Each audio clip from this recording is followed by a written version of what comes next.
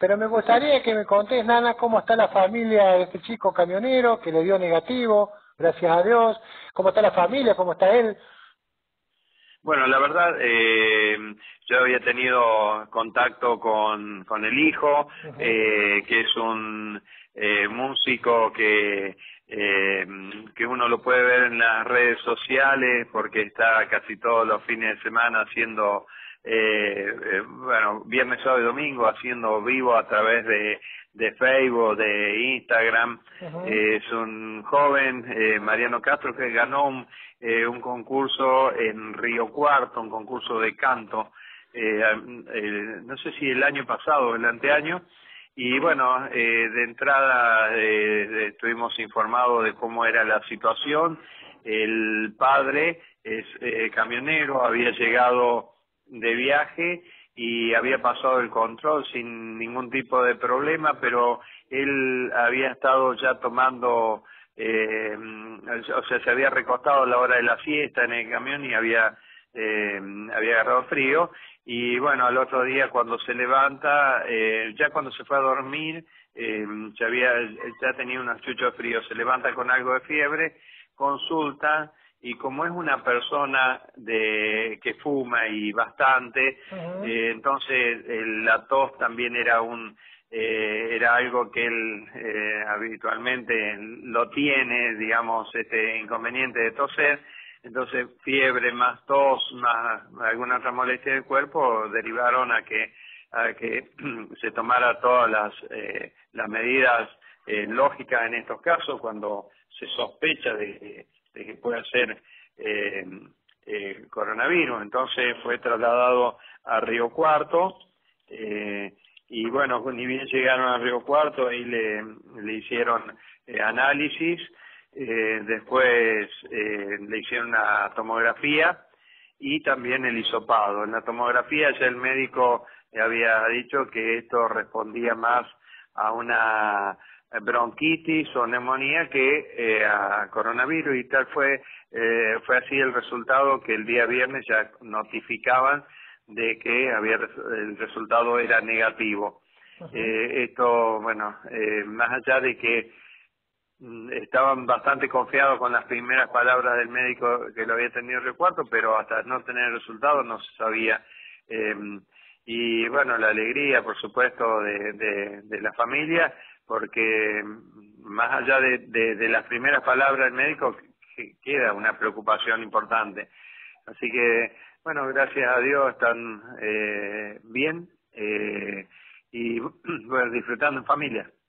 Eh, ¿qué, ¿Qué apellido de esta familia, Nana? Castro. Claro. Eh, eh, ese, eh, esta familia es oriunda del Campillo.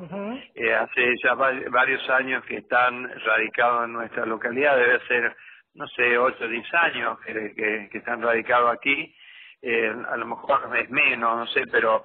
Eh, y él, eh, Tito, como lo conocemos, eh, sí. maneja un camión, una persona eh, eh, o sea, eh, que goza de, de, de, de mucho afecto, pero no tiene por ahí una, una actividad eh, por el solo hecho de que, bueno, su función lo lleva, eh, o su labor lo lleva a estar viajando permanentemente.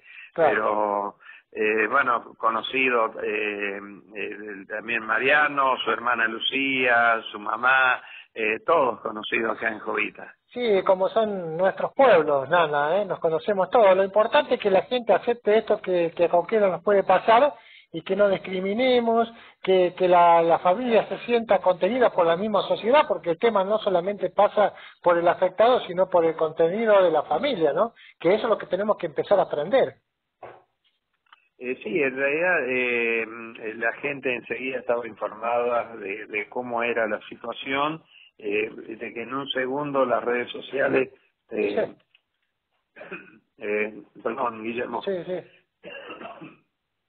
en un, en un segundo las redes sociales te, te comunican todo, como también así te, te pueden des- desvirtuar la información. Claro. Bueno, eh, Nana, eh, tranquilo, totalmente normal, eh, digamos, normal en, en, en los controles, todo eso, la gente no sale. ¿Cómo están en Jovita?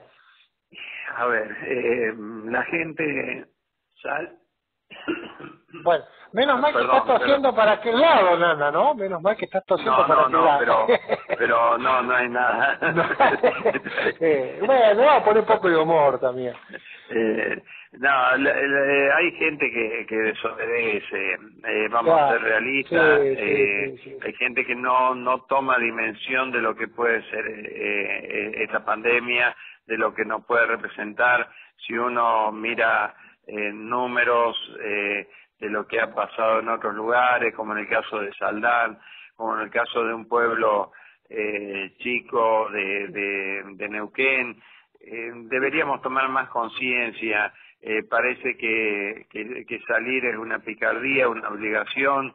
Eh, lo que pasa es que cuando te ataca este virus ya después no es fácil salir del problema. Como, eh, como, bueno.